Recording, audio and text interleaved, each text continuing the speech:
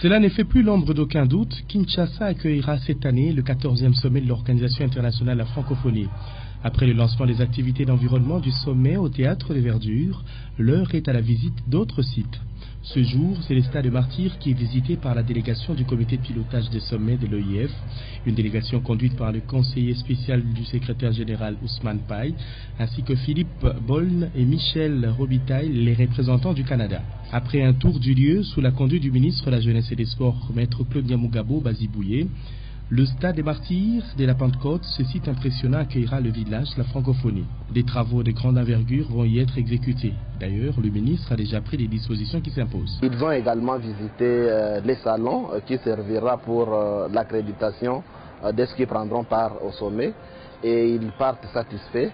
Mais nous avons des efforts à fournir avec le comité organisateur pour euh, le réaménagement euh, de tous les sites du stade des martyrs afin qu'ils soient dans des conditions impeccables pour recevoir ce grand événement mondial. Ce sera l'ensemble du stade.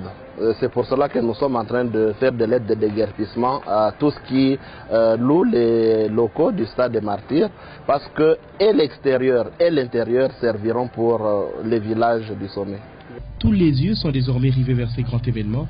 Retenez que c'est la troisième mission qu'effectue ce comité international à Kinshasa en une année.